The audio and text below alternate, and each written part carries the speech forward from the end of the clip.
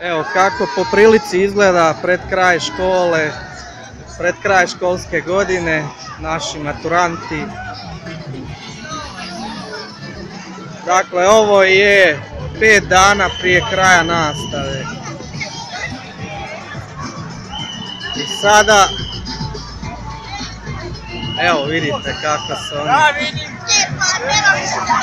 Ajde, makni se.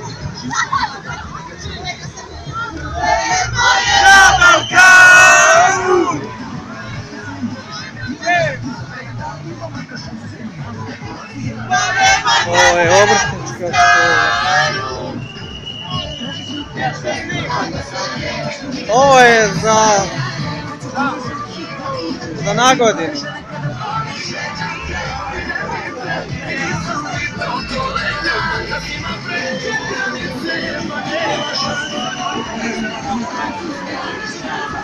Evo kako izgleda jedan gepek. Dobro.